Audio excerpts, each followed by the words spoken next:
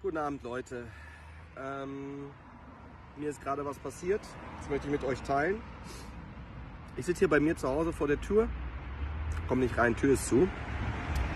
Und ähm, ja, ich habe hier so ein T-Shirt an, seht ihr ja. Marvel, steht ganz groß drauf. Ich bin halt ein Superheld. Ganz normal, irgendwie passiert. Ja klar, ich kenne Iron Man, Spider-Man, wir sind halt irgendwie eine Gang. Komm hier nicht rein. Und äh, von hinten ruft noch so ein Typ mit langen Haaren, äh, Musiker, hat auch bei Let's Dance mitgemacht, so, ja, übrigens, Saddam Hussein hatte Atomwaffen. Und ich so, was? Was erzählst du denn da? Ja, die Rente ist sicher. Das, das kann ich alles nicht glauben. Und Corona ist noch nicht zu Ende. Das ist echt krass, habe ich gedacht. Ey, das, das kann nicht sein. Also ich meine, wie kann sowas passieren? Und dann hat jemand aufgemacht bei mir, also ich nenne sie jetzt einfach mal Herr W., war aber in Wirklichkeit eine Frau.